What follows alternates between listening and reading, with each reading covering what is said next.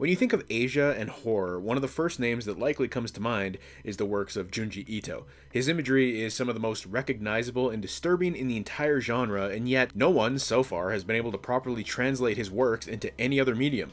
Tomie, Gyo, even the anime series, none of it really manages to capture the feel of a Junji Ito panel. That being said, one of his most iconic works is known as Uzumaki. Some of his best known art comes straight from this manga, and to the credit of the creators of this movie, they almost got it. So, Uzumaki, or Spiral as it's called in North America, is, well, it's hard to describe this thing.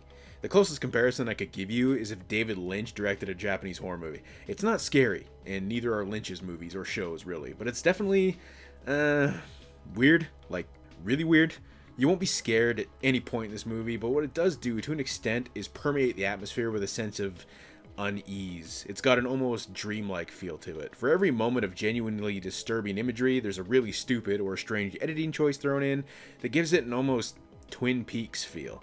Like there are scenes thrown in here that serve no other purpose than to make you be like, bruh, the fuck? And that's about it. So just like the manga, a small town becomes cursed by a force that causes everyone in it to become obsessed with the spiral shape. The first person to metaphorically bust the nut to a circle is actually actor Ren Osugi, who most of you probably recognize from Shin Godzilla. But I think some of my longtime viewers might remember this guy. Hey-ya, hey-ya, my, hey-ya,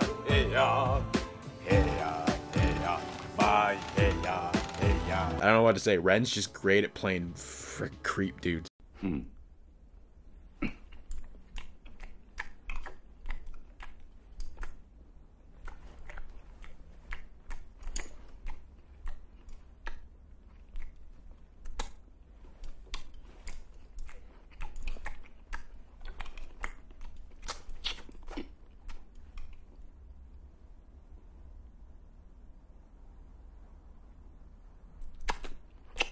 Then the curse starts to spread. Another dude starts turning into a snail.